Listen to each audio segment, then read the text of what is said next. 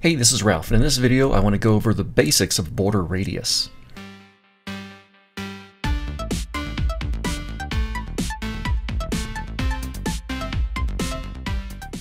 Okay, so I have a web page set up. You can see with a couple of boxes right here.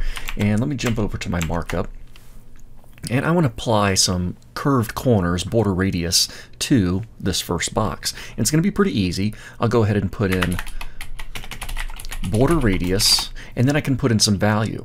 Now if I start off with something like 20 pixels, that's going to apply the same border radius to all four corners. So if I head over here and refresh, we can see there's a nice curved corner to all four corners. But we can go a little bit further with that, and I'm going to put in four units of measurement. So I'll put in 20, 40, 60, and 80 pixels. Control S to save, browser refresh, and now that we have those different values, we can see that when we use four units of measurement, it's going to start in the top left corner, top left, top right, bottom right, bottom left. So you can be pretty customized with those border radii.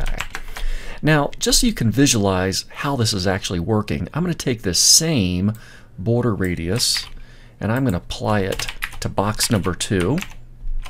So now that we can see box number two has the same, and then I'm going to turn on some circles that I made a little bit earlier um, before starting the video so we can kind of visualize what's going on here.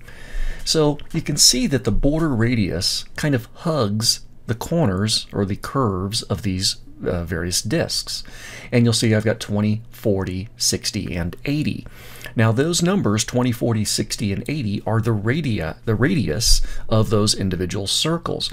So a circle up here in the top right, which reads 40. Remember, this corner has a border radius of 40 pixels. The radius of this circle is going to be 40. However, to create the circle, it's really um, 80 pixels. Same thing down here. This circle is actually made of a box It's 120 by 120, and this bigger with an 80 radius is 160 by 160. So it's certainly a lot clearer to see how border radius is getting that particular curve. Now let's try this in another example. I'm going to go to circle number three. Actually, I'll do it right up here. Or box three. I'm going to get rid of the visibility hidden. And let's turn this one on. Now this one looks a little bit unusual. You can see that, especially if you look at the top right and the bottom left, the border radius is pretty unusual. It's not based on a circle anymore. Instead, it's based on an oval shape. So 60, 20, basically it's got a radius going horizontally of 60 pixels, which means it's 120 wide. And it's got a radius of 20 going vertically, which means it's 40 tall. So instead of a circle being based off of perfect, perfect square, now we have ovals based off of um, a rectangle. So let's look at the markup for that one in, in particular. So if I look at box number three, I can see it has this weird border radius. You can kind of ignore that zero pixels for a moment. If I didn't have that, we'd have the same oval pattern for all four corners. But you can see I can separate some values with a slash, which means that the oval is going to be 60 pixels wide. I'm sorry, uh, it's going to have um, a radius of 60 pixels going horizontal and a radius 20 pixels going vertical. And if I'm looking to say, well, how do you create that particular oval? Well, it's just going to be a you know, a rectangle.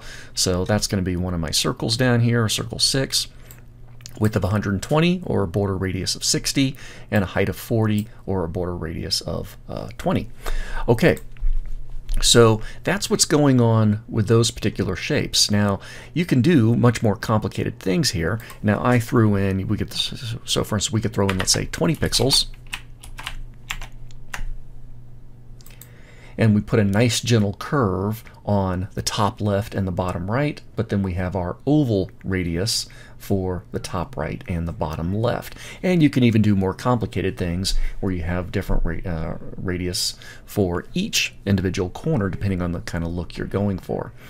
So that's a little bit with border radius, but the key is when you're working on that, simply use the border radius property and kind of decide which values you want to use.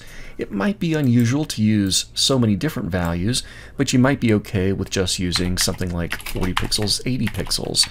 If you wanted to have, I'm looking at the middle one here, if you want to have top left and bottom right versus top right and bottom left to be somewhat balanced.